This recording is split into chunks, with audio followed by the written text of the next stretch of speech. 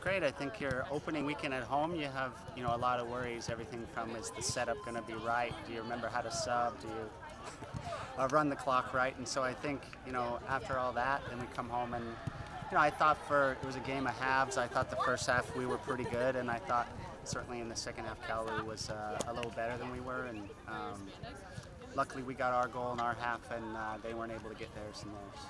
So it was a great, great ball to the uh, weak side of their defending, and Amalia, you know, is she's a special player, so she's able to bring that down and um, and toe that one past the keeper. And usually, if the game's close like it was, um, a special a special player for them or us is the one who's going to um, be the decider.